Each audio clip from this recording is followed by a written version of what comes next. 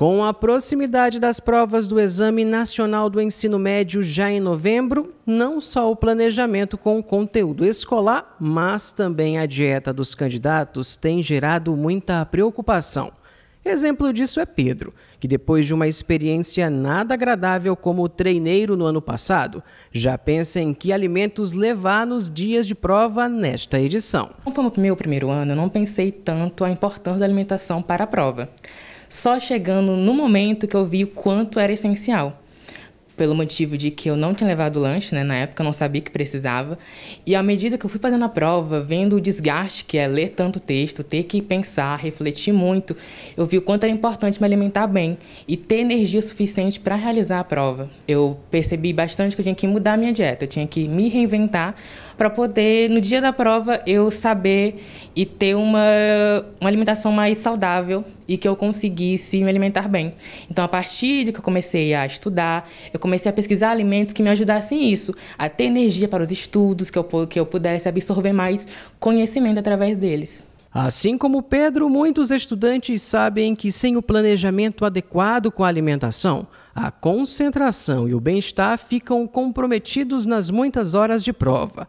Mas essa atenção tem que começar bem cedo, já que a dieta adequada interfere sim no sucesso do exame. Como lembra essa nutricionista que fala dos alimentos que trazem mais disposição na hora dos estudos. Alimentos que, tem, que são ricos em ômega 3, como o próprio óleo do ômega 3, pré-prova, ainda estamos, ainda estamos em períodos de, de alguns dias que se antecedem, então pode estar consumindo óleo mesmo de ômega 3 ou peixes, né, que tem, são ricos também em ômega 3, castanhas que são ricas em óleos também que vão facilitar esse aprendizado e magnésio também que contém dentro delas que melhoram e facilitam o raciocínio. É, alimentos também como os pós, né, pós que você pode misturar na vitamina, é, vamos citar o guaraná, maca peruana, catuaba, ginseng, todos eles são estimulantes e facilitam o aprendizado nesse pré-prova. E para garantir energia nessa verdadeira maratona de provas, o candidato deve apostar na barra de cereal. As oleaginosas servem para garantir saciedade e a água, claro, aquela hidratação necessária. O candidato deve fugir de qualquer alimento novo para não ter surpresa desagradável nesses dias de prova. Alimentos que têm é, o poder de te saciar sem te pesar muito, como castanhas, é, amêndoas, uma barrinha de proteína que vai dar sustentabilidade naquele período de prova, principalmente também se hidratar.